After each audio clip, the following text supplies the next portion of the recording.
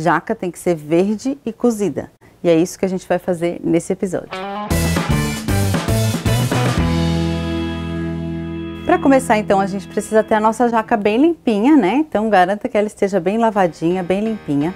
E aí, o primeiro passo é que a gente vai cortar essa jaca em rodelas. Só que a jaca, ela solta uma nódoazinha. Então, você primeiro precisa untar a sua faca, tá?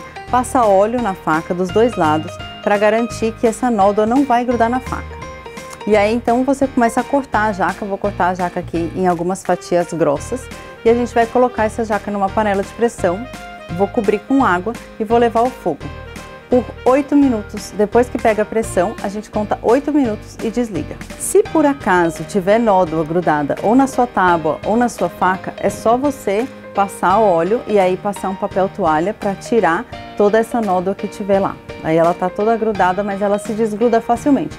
Não adianta você lavar com bucha, você vai estragar a sua faca, vai estragar a sua tábua e não vai conseguir tirar a nódoa da, da jaca. O único jeito de tirar é mesmo com óleo. Esse é o pulo do gato desse vídeo.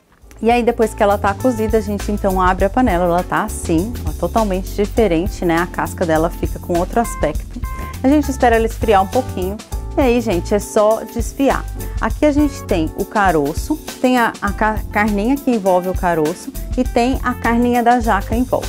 Tudo que a gente tem que tirar daqui é só essa casca mesmo, que ela é dura para comer e a parte do meio. O resto todo você pode desfiar e aí você vai tirando pedaço por pedaço e vai desfiando. Depois que ela está cozida, ela não tem mais nódoa, pode ficar tranquilo. Pode usar sua faca, pode usar sua tábua, o que você quiser, sem precisar untar com óleo e fica sossegado porque não tem mais nódoa, tá? E aí, depois de desfiadinha, bonitinha, aqui está ela. Linda, gente. É, você pode usar para várias coisas. A gente usa para substituir o frango, porque a gente acha que fica parecendo mesmo um frango desfiado, né? e o caroço da jaca é absurdamente nutritivo. Ele aqui já está cozido, a gente pode consumir ele de duas formas, que eu já fiz, né? Eu acho que devem ter outras, mas as duas que eu conheço são, você pode torrar eles no, no forno ou numa frigideira, deixar eles bem douradinhos e pode comer mesmo como um petisco temperado com sal e tal.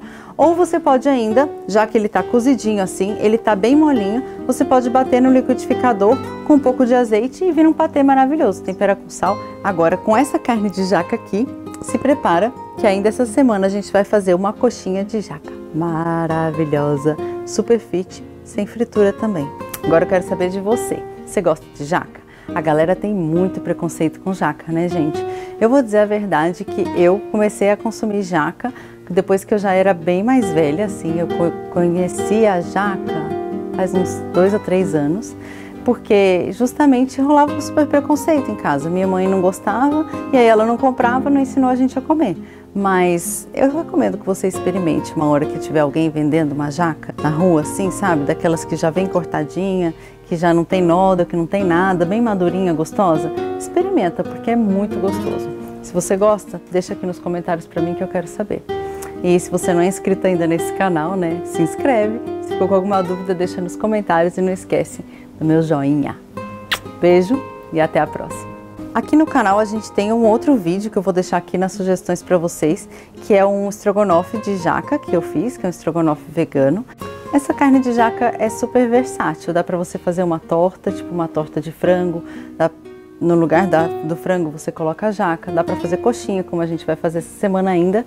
Então, te espero no próximo episódio. Não vai perder.